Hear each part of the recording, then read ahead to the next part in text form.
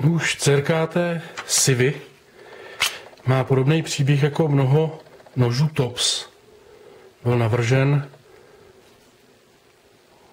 vojenským veteránem, nebo já nevím, jestli není ještě v aktivní službě, ale zřejmě už ne. A design dotvořil profík nožíř, pan Chris Williams. Jméno toho vojáka vám nevyslovím, to je složitý, to si napíšeme do aktualit. A je to zajímavý, takový malý, ale velice robustní nůž, určený právě k vojenským účelům. Jeho robustnost zvyšuje použití oceli SK5, uhlíkovky SK5. Má hodně zajímavý úchop, trošku jako by přepadal z ruky, ale je to příjemný. Hodně širokou čepel.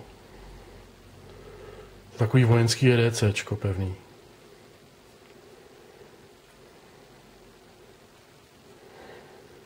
Tuhle úpravu střenek už u CRKT známe, není použitá poprvé.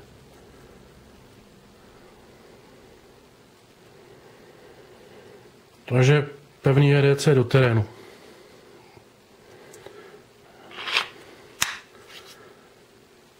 Pouzdro a velký teklok.